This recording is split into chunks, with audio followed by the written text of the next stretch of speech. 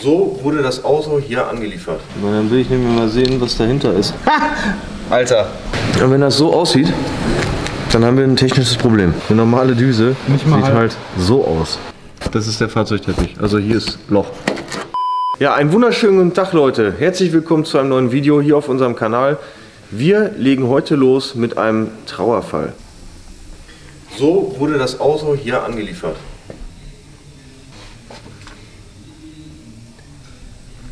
Sieht nicht ganz so hübsch aus. Hier oben hat man mal einfach vergessen, da die Abdeckung drunter zu packen, nur den Windlauf draufgelegt und dann nimmt das Wasser so seinen Lauf. Ja, spielt aber letzten Endes auch gar keine Rolle mehr, weil das muss sowieso alles neu. Der Wagen ist... Wo soll ich anfangen? Ey? Dann sind wir schon seit einem halben Jahr, bin ich ungefähr dran, mit dem Kunden zu telefonieren. Der hat das Auto jetzt da abgeholt, wo er auseinandergebaut wurde. Hatte eine sehr lange Geschichte. Er hat das Auto gekauft, hatte einen Motorschaden. Dann hat er da einen neuen Motor gekriegt. Äh, hat wieder einen Motorschaden. Turbo kaputt, Turbo getauscht, wieder Motorschaden. Und jetzt steht er hier.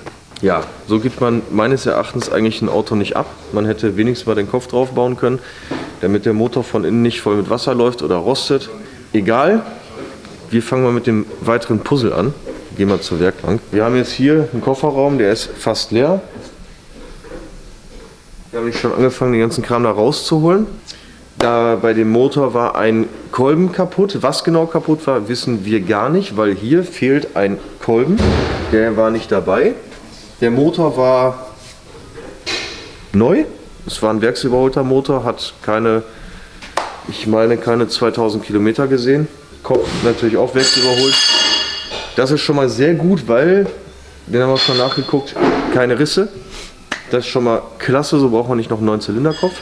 Der Motor wird gleich ausgebaut, dann gucken wir uns die Kurbelwelle an. Ähm, Gibt es neue Kolben, neue Pleuel, neue Lager, neue Ölpumpe, neues Saugrohr. Einfach alles komplett neu, dass das erstmal so wieder steht, wie es soll. Ähm, hochinteressant war, ich suche gerade was. Hochinteressant war, dass der Kunde mir erzählte, er hätte knapp 400 PS. Jetzt wissen wir nun mal alle, 400 PS mit Seriendüsen ist nicht so äh, machbar. Hier seht ihr die, die eine Düse, die ist schon richtig massiv undicht hier. Da ist wahrscheinlich auch hier der Dichtring undicht. Und äh, hier steht auch schon Sprit drin. Da steht Sprit drin. Das ist kein Öl, das ist Benzin, das ist verharzter Kraftstoff. Weil die Düsen so alt sind, dass es schon durch den Stecker kommt. Sollte man sowieso nach, ich sag mal so, acht Jahren sollte man die Düsen sowieso rausschmeißen. Besser wäre nach sechs Jahren. Einfach und größere Düsen verbauen, weil das Auto hat da nun mal eine Schwäche, wenn du die Leistung erhöhst, dass diese Düsen nun mal nicht mehr ausreichen. So, Spritpumpe weiß ich nicht, was drin ist, aber es ist kein Return-System verbaut. 400 PS mit Seriendüsen, ich meine, da wundern mich auch drei Motorschäden nicht und auch ein Turboschaden nicht. Mir fehlen so ein bisschen die Worte, wenn ich ehrlich bin. Ich meine, ähm, das Auto war natürlich Bestandteil eines Gerichtsverfahrens, weil äh, drei Motorschäden in Folge ist jetzt, ähm, ich sage einfach mal, auffällig. Und dann auch zwischendurch der Turboschaden und so. Und äh, wo er den Wagen gekriegt hat, war der Turbo vorher auch schon mal neu gekommen. Ja, und jedes Mal Kolbenschaden. Wie gesagt, mit Seriendüsen nicht verwunderlich, aber gut. Ja, wir werden uns jetzt mal der ganzen Sache annehmen, das ganze Puzzle auseinander zu sortieren und gucken, äh, dass wir die Teile sauber ordnen, die Stößel ordnen, die ganzen Schrauben vom Motor ordnen, Motor raus, zerlegen und dann zeigen wir euch gleich mal, wie es von der Kurbelwelle und so, wie es in dem Motor aussieht. Ich hoffe, dass die jetzt irgendwie angefangen hat, großartig zu rosten. Das wäre natürlich jetzt fatal. Ne? Und äh, schauen wir mal. Dann geht es gleich weiter. Wir haben den, äh, oder Leo hat den Motor ausgebaut ja. und äh, der Kunde hat einen Austauschmotor bei demjenigen vorher bezahlt. Einen einwandfreien Austauschmotor.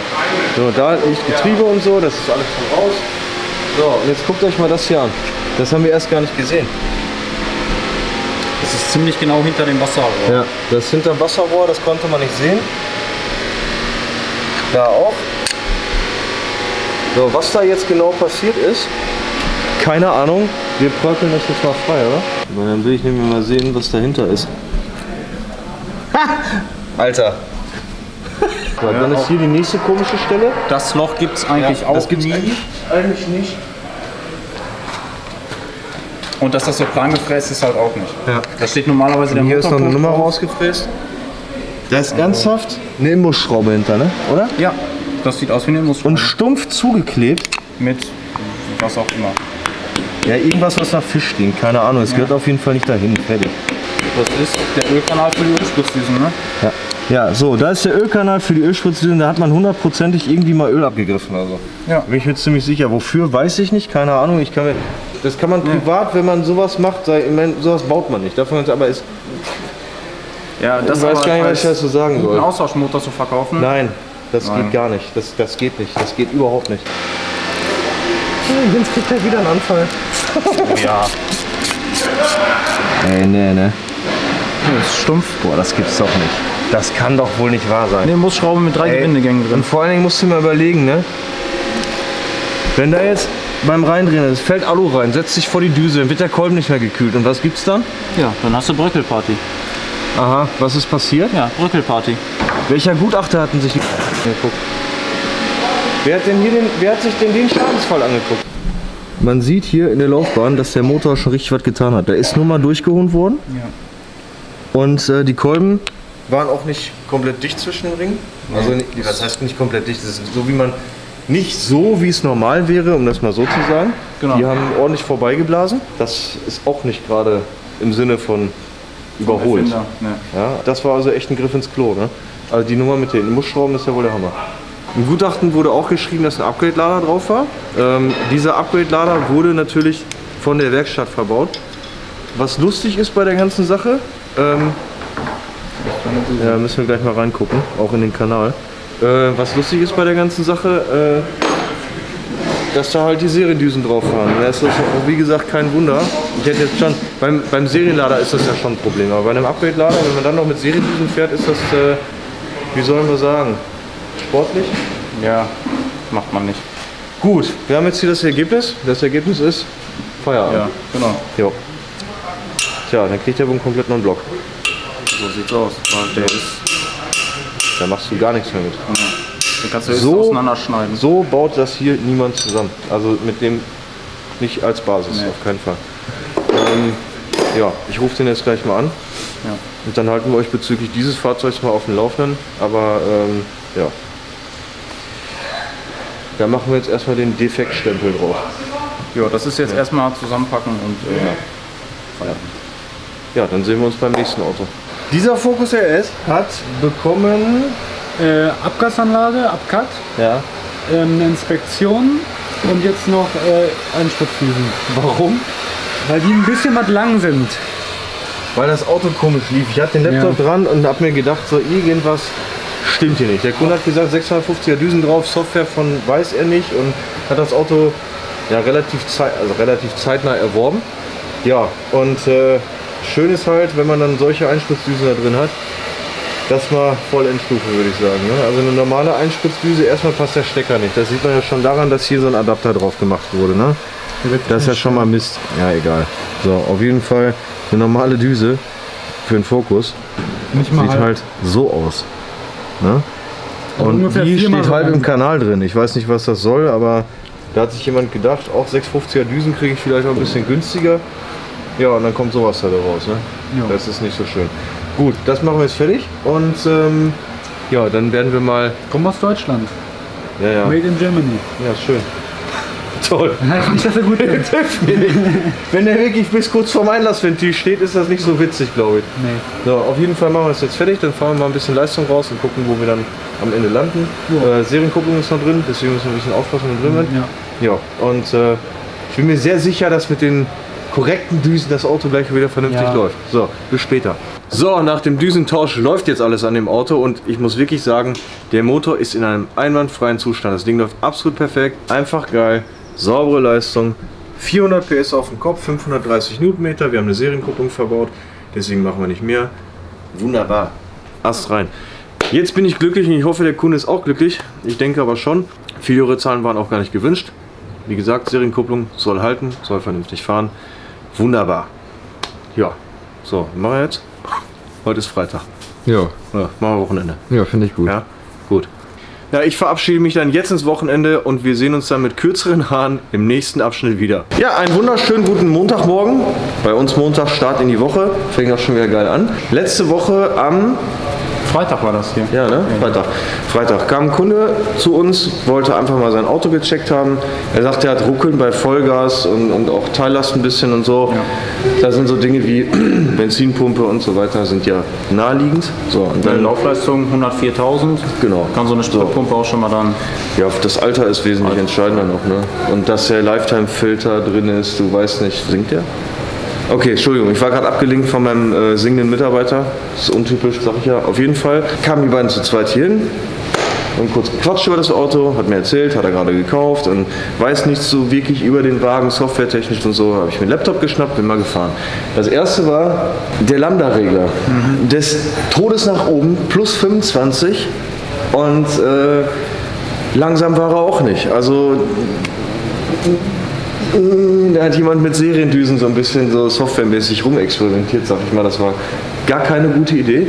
Äh, Vollastlambda angefordert war irgendwie 12.2, 12.3 und das ist ja schon nicht gut. Und den hat er nicht mal geschafft. Das ist noch schlimmer. So, und ja, da bin ich auf den Hof gefahren und sagte, na, hast du schon länger Vollgas gegeben oder mm, ja, nee, nicht so. Ne? Aber man weiß ja auch nicht, was der Vorbesitzer mit dem Auto gemacht hat.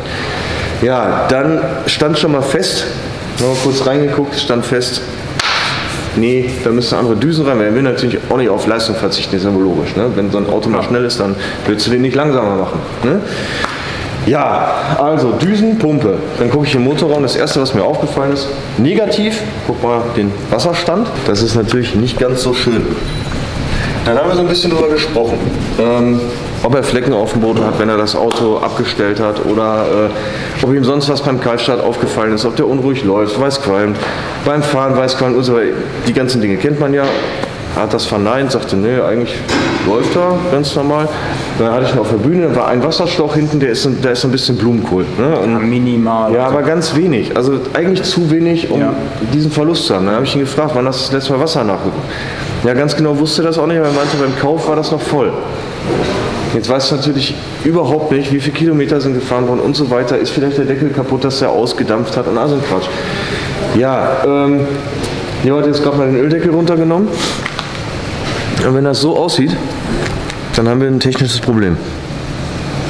Ne? Also Wasser hat im Öl nichts zu suchen, das ist kein Kurzstreckenfahrzeug. Bei Kurzstreckenfahrzeugen kann das natürlich sein, durch Kondenswasser, dass sich öfter mal was im Wasser, ach, im Wasserdeckel, im Öldeckel absetzt. So. Das ist also eine normale Sache.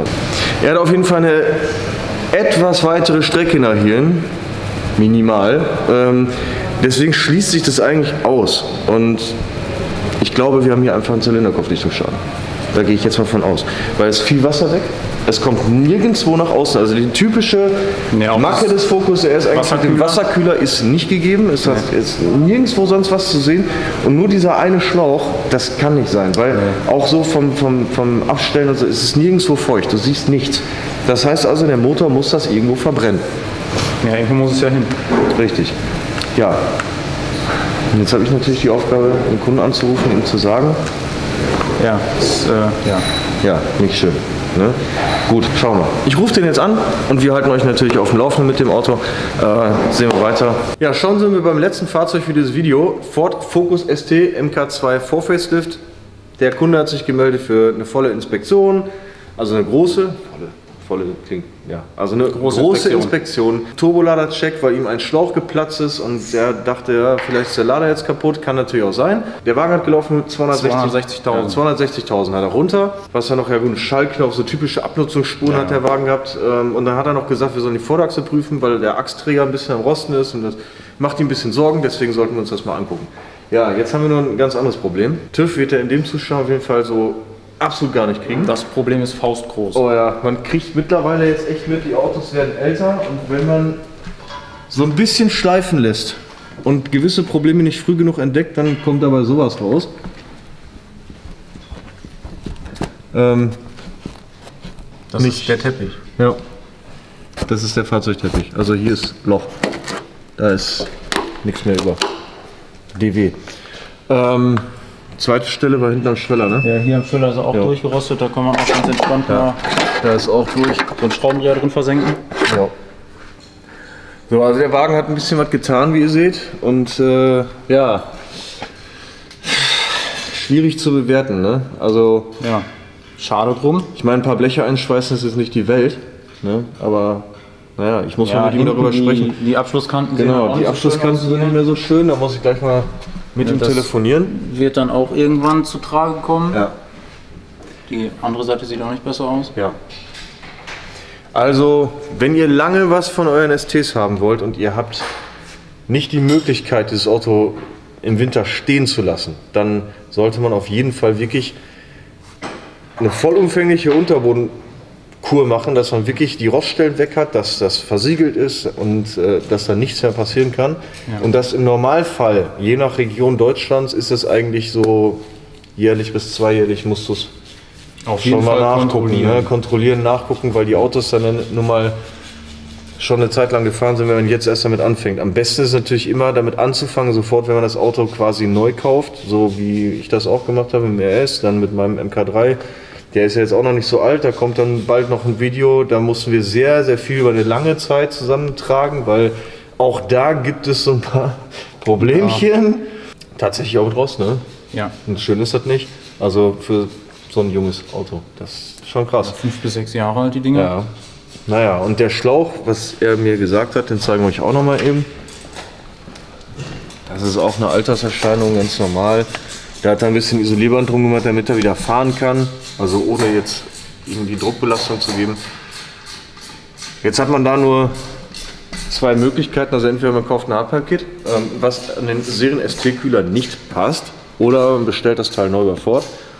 Gibt es auch nur als Leitung vom Turbolader zum Ladeluftkühler. Vorteil ist, man hat alles neu. Nachteil ist, es ist scheiß teuer. ist halt so. Ja, das war halt 227 Euro, glaube ich, VK. Das war nicht ganz so günstig. Ähm, ja, dann gehe ich jetzt das zweite Mal heute telefonieren. Wir hatten ja vorhin den Fall noch mit der Kopfdichtung. Ja, und dann wird es auf jeden Fall, kommt darauf an, wie es mit den Autos weitergeht, wird es ja dann in den nächsten Vlog wieder spannend, ne, um zu gucken, was kann man jetzt machen. Ja, und äh, dann haben wir noch so ein bisschen was mit dem Projekt. Ja, da kommt noch was. Da kommt noch was. Mal gucken. Darf das eine Projekt leider echt nicht zeigen. Das, das nervt nicht, ne? dass ich den Wagen nicht zeige. Also an den Besitzer, der weiß ja jetzt, also du weißt ja genau, wen ich meine. Es ist schon wirklich total schwierig, nichts zu dem Auto zu sagen und nichts zu zeigen. Also es ist echt, äh, naja, gut. Jetzt steht äh, wieder der Kollege, der nicht in den Videos auftauchen will, hinter Luca und macht Grimassen. Ich versuche mich gerade zu beherrschen, nicht zu lachen. Ja, ja, genau, ist klar. Gut, ja, wir sind am Ende angekommen und ich hoffe, euch hat das Video gefallen. Falls dem so ist, könnt ihr uns gerne ein Like da lassen, ein Abo und die Glocke aktivieren, damit ihr uns nicht mehr verpasst. Bis zum nächsten Mal. Ciao.